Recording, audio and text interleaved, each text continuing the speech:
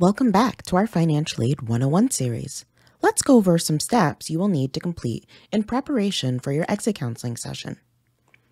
First, visit studentaid.gov. Log in near the top of the screen. Your login is the same information that you used to complete your FAFSA application. Once logged in, you will see your dashboard.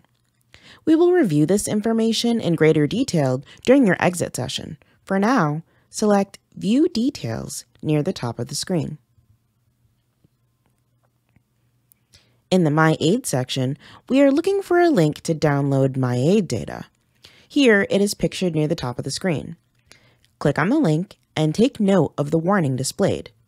If you are downloading your aid data on a public computer, be sure to follow these instructions to protect your personal identifiable information.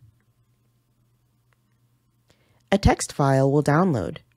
Usually, the file will go to your Downloads folder. Make sure this file is in a location where you can find it later. Now, open another tab and visit AAMC MLOC.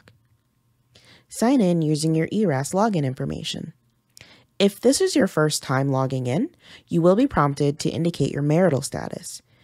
It's important to note, if you're planning on getting married before the end of this year, make sure you select Married for your marital status and indicate if your spouse is a physician or non-physician.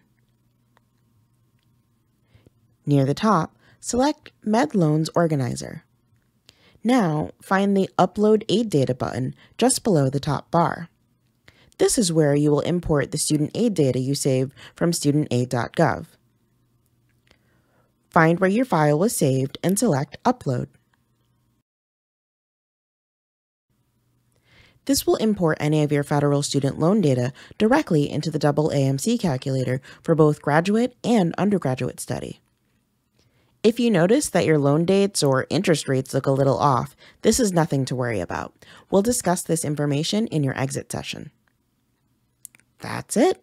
You're now ready for your individual exit counseling session. Be sure to bring any questions you may have with you.